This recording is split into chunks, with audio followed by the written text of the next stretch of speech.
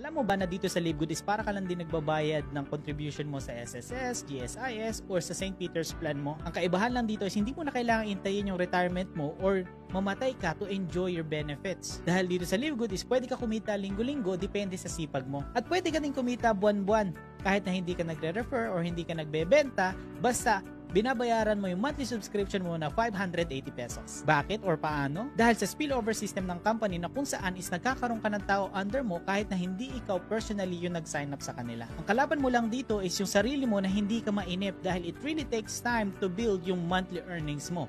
Pwede ka abutin ng 1 to 2 years pero by this time, kung kumikita ka na ng 50 to 100,000 monthly as long as binabayaran mo yung monthly subscription mo. Congratulations na sa lahat ng tao na susubok ng opportunity nito. See you guys at the top. Hello! Magandang buhay!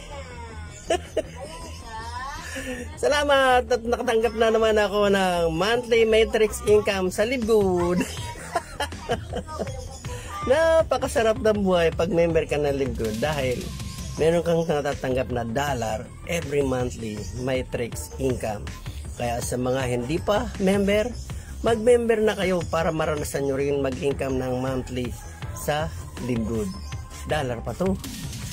Parami ng parami ang income sa Libgood.